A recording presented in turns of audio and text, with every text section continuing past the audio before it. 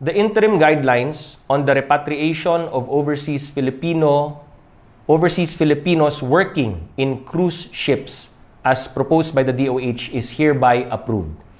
Ang panununtunan sa pagpapauwi sa pagpapauwi ng ating mga OFW na nagtatrabaho sa mga cruise ship ay na-approve na po. Letter D.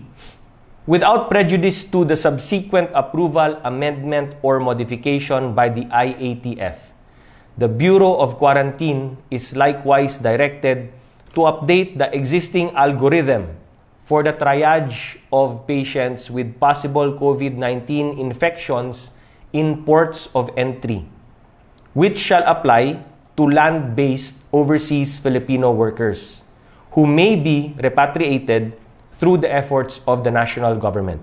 A sub-TWG composed of the Department of Labor and Employment, Department of Tourism, Department of Transportation, Department of Foreign Affairs, Department of the Interior and Local Government, and the DOH is directed to convene, to formulate guidelines, to manage and ensure the welfare of repatriated overseas Filipino workers.